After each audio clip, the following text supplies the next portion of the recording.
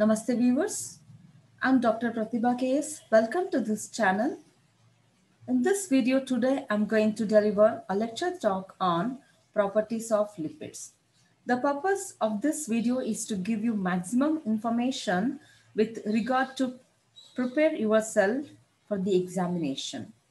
Dear viewers, before proceeding today's lecture talk, I remind you all to subscribe this channel if you have not done so far. And also click on the bell icon so that you keep getting the notifications of all the academic videos for your benefit. Now, let us begin with properties of lipids. Okay, I have listed here the list of properties. Okay, so I have categorized the properties into four uh, parts. First, physical properties, then chemical properties, then reaction involving double bonds, then quantitative test. Okay. So in the exam, they asked this particular question, properties of lipids. First, you need to list all these properties and later one by one, we can explain. Okay. So under physical properties, I have mentioned state, color, odor, or taste, solubility, melting point, specific gravity, geometric isomerism, insulation, emulsification, and surface tension. Under chemical properties, hydrolysis, saponification, hydrolytic rancidity, okay, all these which comes under chemical properties. Reaction involving double bonds like hydrogenation, halogenation, then oxidative rancidity. Okay. In the exam, if they ask specifically what is rancidity and give their uh, reactions means you can write both. Okay. Hydrolytic and oxidative together you can write. Next one, the quantitative test, saponification number and iodine number. Now let us go through one by one the properties of lipids. Okay. First, let us go through here. State. Fats containing saturated fatty acids are solid at room temperature. Okay.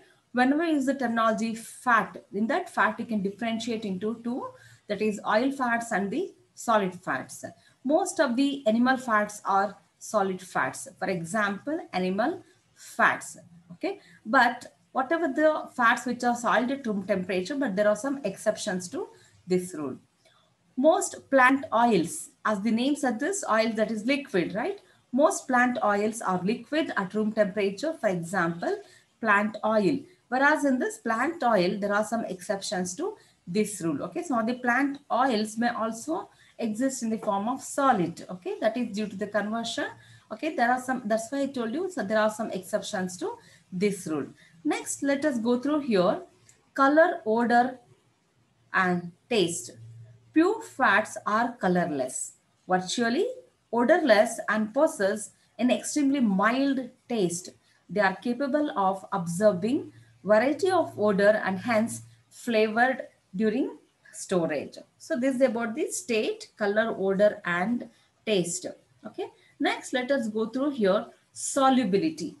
Okay. The fats or oils are insoluble in water and are called hydrophobic in contrast to the water soluble or hydrophilic substances like carbohydrates and proteins. Okay, because in fats, most content we can observe the hydrophobic, non-polar content will be more when compared with the polar. Okay, fats are freely soluble in organic solvents like chloroform, acetone, benzene. Okay, fatty acids with less carbon atoms are readily soluble in water. For example, acetic acid and propionic acid. Okay, but the solubility decreases as the number of carbon atom increases in the hydrocarbon chain. Now let us go through here melting point. Okay, so what is melting point here? The melting point is the temperature which is taken up uh, to convert from solid to liquid. Okay, the melting points of fat depends upon the chain length of fatty acids and degree of unsaturation. You can underline these two keywords, chain length of fatty acids and degree of unsaturation. Okay, melting and boiling point of a fatty acid raises with carbon chain length. A fat may be liquid or solid at room temperature mainly depends upon the melting point. Okay, and also the presence of saturated fatty acids in fat increases the melting point. Okay, the melting point of fats is always higher than the temperature at which it solidifies. This property causes the fat to be liquid or solid at room temperature. Okay, the melting point of fat is always higher than the temperature at which it solidifies.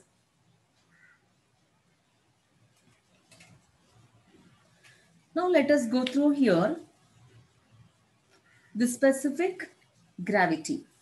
Okay, here the specific gravity of the fat is less than 1 that is about 0.086 and therefore they float on water surface.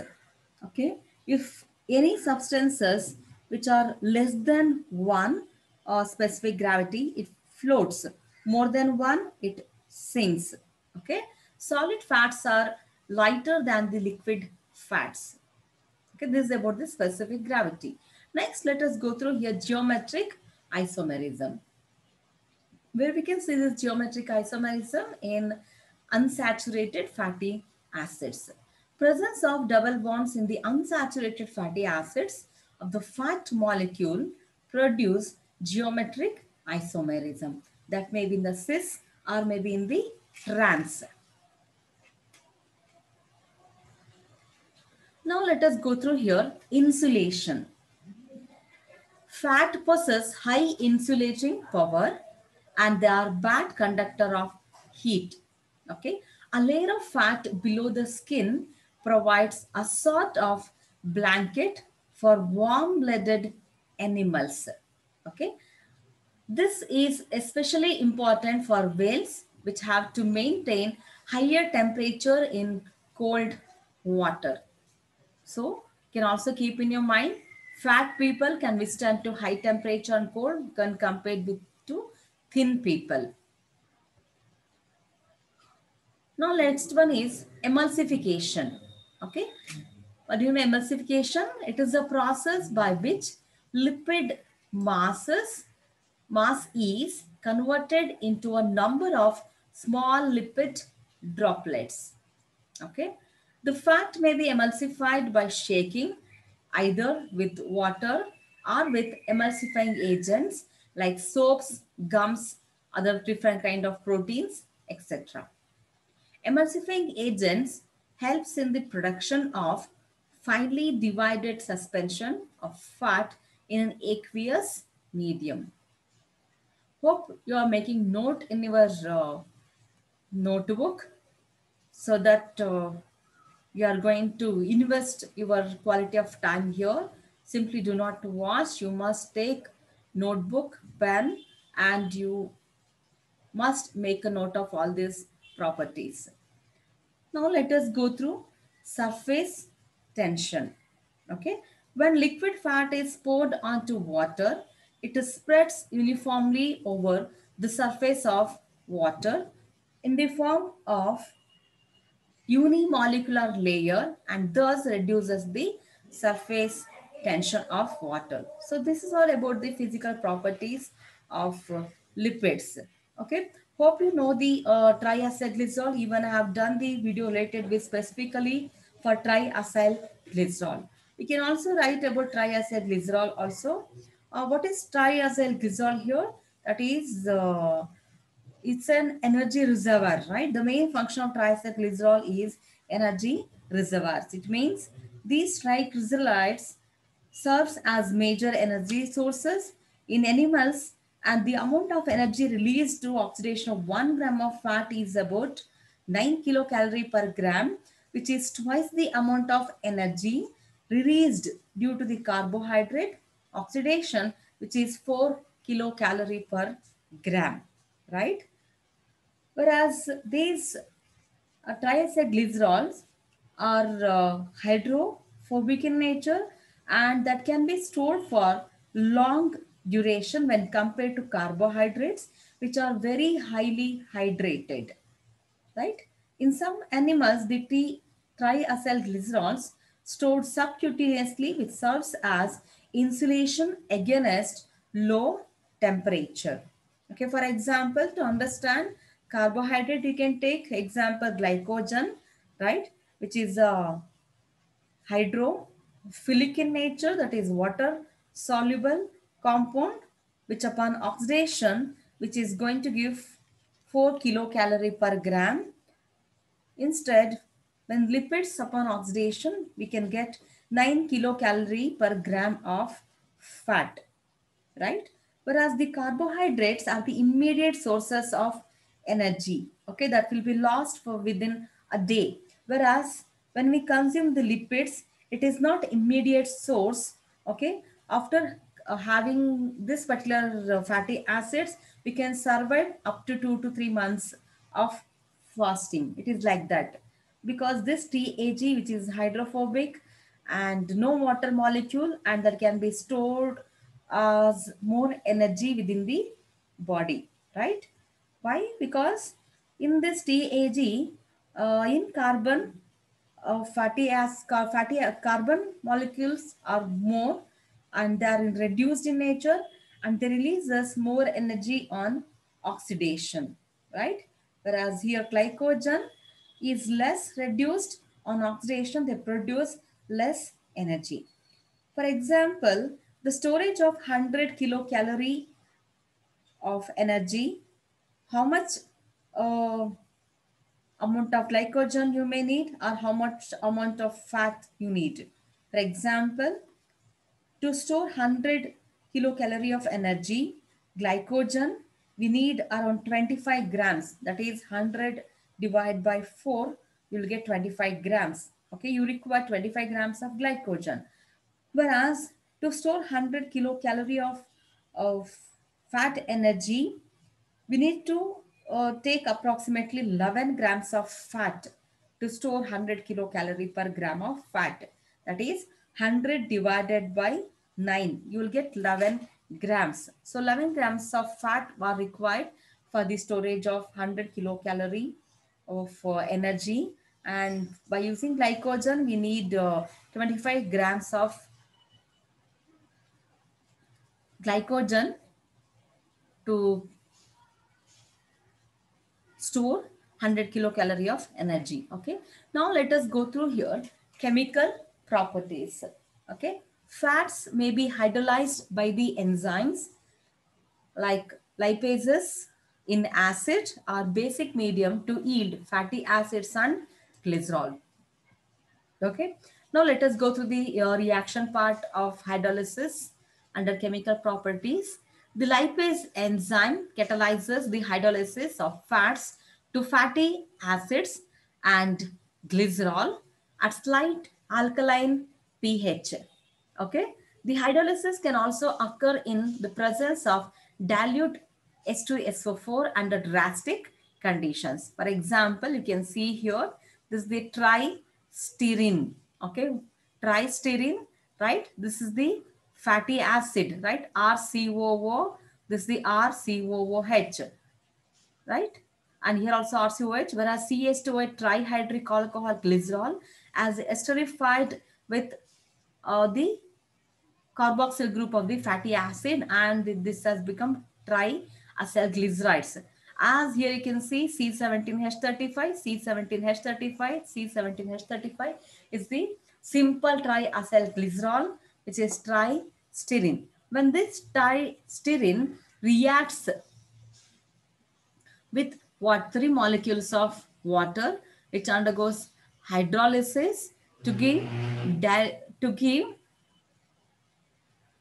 three stearic acid right with one glycerol molecule so here the hydrolysis can also occur in the presence of dilute H2, SO4 in the presence of lipase. Okay, so here the lipase enzyme catalyzed the hydrolysis of fat to fatty acids, right? This is the three molecules of fatty acid and one molecule of glycerol that is trihydric alcohol. So this is about the hydrolysis, right? Here, what has happened here? This was actually C17H35, right? Here, this one of the H which has attacked here and this released as CH2OH, right? This is also CHOH and this is CH2OH and here this has converted into fatty acid that is 317H35COOH. So upon hydrolysis that has yielded one molecule of glycerol and three molecules of fatty acids. Now let us go through here saponification or alkaline hydrolysis. Okay, it is very important examination. Usually they'll ask, you must focus here. Hydrolysis of fats by alkali is called saponification. Okay, this reaction results in the formation of glycerol and salts of fatty acids which are called soaps. Okay, this is important in cleansing as a cleansing agent. The cleansing property is due to their emulsifying action. Okay, so what is here emulsification? What kind of emulsification uh, characteristics you have studied? We have studied that in the properties, no? Emulsification, emulsification is nothing but it is a process by which lipid mass is converted into a number of small lipid droplets, right? The fat may be emulsified by uh, shaking either with water or with emulsifying agents like soaps, gums, proteins, etc. Right? Any emulsifying agent helps in the production of finely divided suspension of fat in an aqueous medium. Okay. The capacity to render more prolonged mixing of oil or fat with water is possible through this particular saponification. Okay. So how can we do the saponification alkaline hydrolysis? In the exam, they may ask you uh, with only with the saponification or maybe with alkaline hydrolysis. Okay, you must recall this. When fats and oils react with strong alkali like KOH and NaOH, they undergo hydrolysis to yield glycerol and potassium or sodium salts of fatty acid. Okay, this sodium or potassium salts of fatty acids are known as soap. This process is known as saponification. Okay, saponification is a method of characterizing an oil of fat. Soaps are of two types. One is sodium soaps, other one is the potassium soaps. Sodium soaps are known as hard soaps and are used as detergents. Okay, potassium soaps are known as soft soaps used for toilet and, and as a bath soaps. Now let us go through the reaction here. So this is the uh, triacyl glycerol, right? Why triacyl glycerol? Tri means three, right? Acyl means fats. Glycerol, okay, one molecule of glycerol that is CH2OH, CHOH, right? And this is CH2OH. So this triacylglycerol reacted with the three molecules of sodium hydroxide, right, which yields to glycerol, one molecule of glycerol, and three molecules of sodium salts of fatty acid. Okay. Whereas here, in the next case, this is the again triacylglycerol, which reacting with three molecules of potassium hydroxide okay? Which is going to, which is going to give a glycerol molecule one molecule of glycerol okay? One molecule of glycerol this ch2oh okay?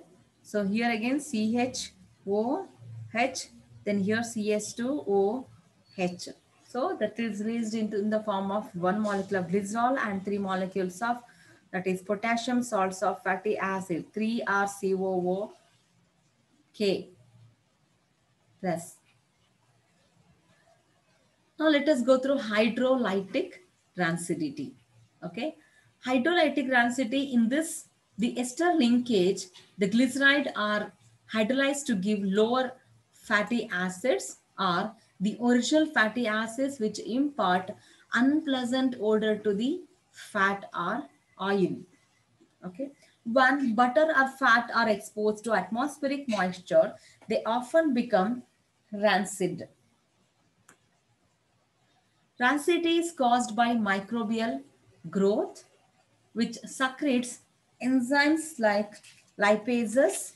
These lipids, these uh, uh, lipase action splits the fat into glycerol and lower fatty acids. So they impart unpleasant odor and flavor to the fat.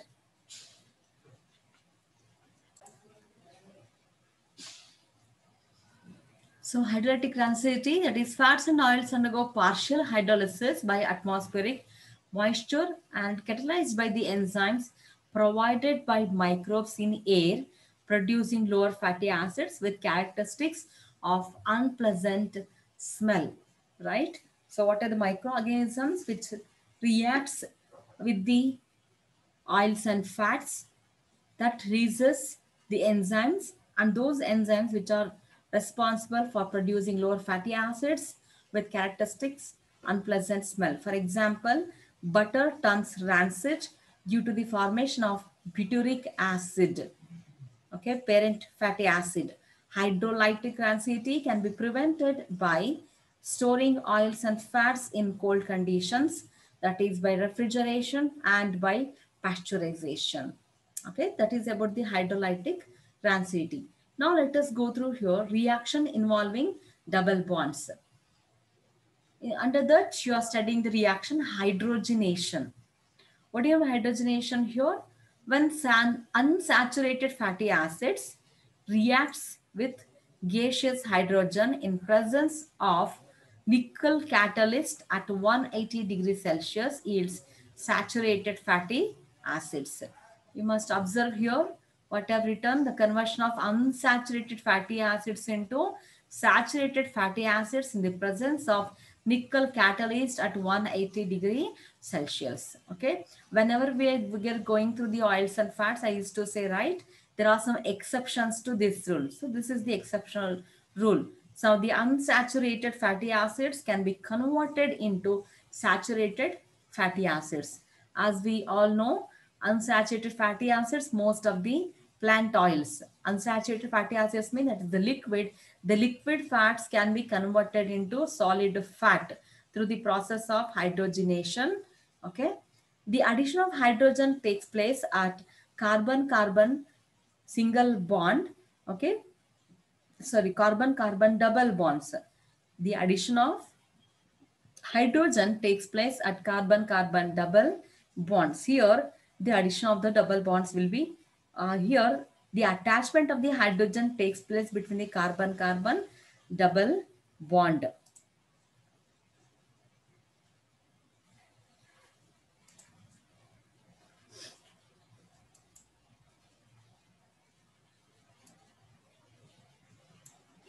So wherever the double, where okay, whereas uh, in unsaturated fatty acids, we can find the double bonds, right? This is the double bond and this is the saturated fatty acids are the single bond, right? Here in hydrogenation, we can convert uh, unsaturated fatty acids into saturated fatty acids. So where are the double bonds will be there, there in the double bond, we can, uh, due to the addition of this particular hydro, hyd, due to the addition of hydrogen, okay, that there we can convert the double bonds to single bond. Thus the oleic, oleic acid that there you can see the presence of double bond, unsaturation to saturation.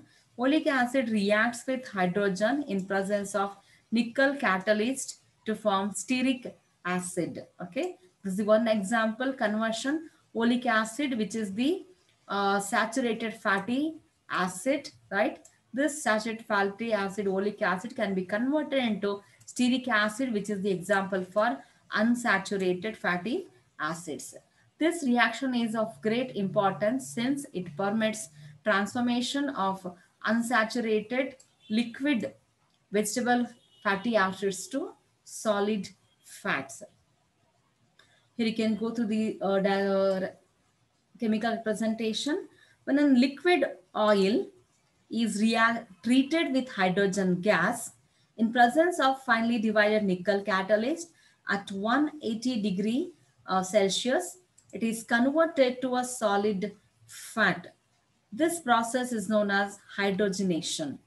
During this process, the unsaturated fatty acids are converted to saturated fatty acids. For example, this is the triolein C17H33, which is the triolein, okay? Triolein C17H33, triolein. This triolein, which is converted to tristearin upon hydrogenation, okay? So triolein upon hydrogenation forms tristearin, which is a solid fat. This triolein, which is the liquid fat, liquid fat are get converted into tristearin in the presence of hydrogen with finely divided nickel catalyst at 190 degree Celsius. So here this you can see the glycerol molecule and three fatty acid molecule which are esterified, right? C17H33, C17H33, C17H33. Okay. Upon hydrogenation, okay, which attacks double carbon, carbon double bond, and this becomes C17H35 upon hydrogenation. So this is tristearin. From C17H33, they'll become C17H35, C17H35 and C17H35. Okay. Here this hydrogen which reacts with the three fatty acid molecules and gains another two hydrogen molecule and they become C17H33 to C17H35. So this is about the hydrogenation. Now let us go through halogenations. Unsaturated fatty acids take up halogen like bromine or iodine at their double bonds at room temperature in acetic acid or maybe methanol. Okay, this reaction is the basis of determination of iodine number. Okay, let us go to the reaction here. Unsaturated fatty acids takes up halogen, that is iodine or bromine, at their carbon-carbon double bonds at room temperature in acetic acid or methanol solution. Okay, by this particular halogenation process, one can determine iodine number, okay? And this is mainly based on degree of unsaturation. This halogenation will not give any kind of clue about the presence of number of double bonds, okay? So here, this unsaturated fatty acids, which are get converted into saturated fatty acids upon halogenation in presence of acetic acid or methanol. It means the iodine molecules which attacks the attacks at the double bond and becomes saturated fatty acids.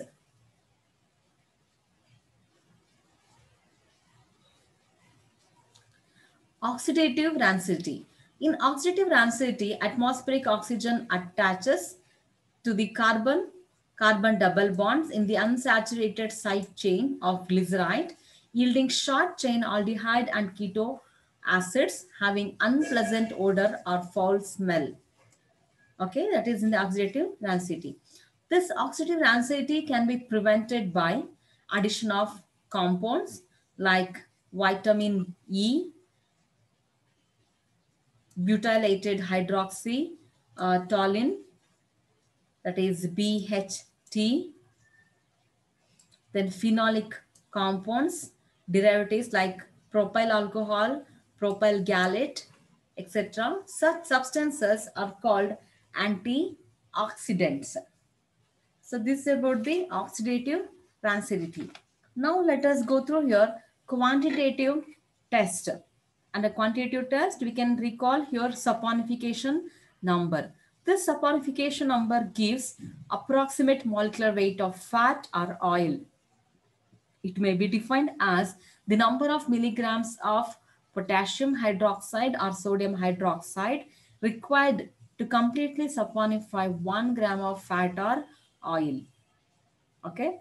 that is about the saponification number. The smaller the saponification number, higher the molecular weight. It also finds use in oxidative, oxidating the amount of alkaline, that is sodium hydroxide or potassium hydroxide, needed for converting a definite amount of fat or oil into soap.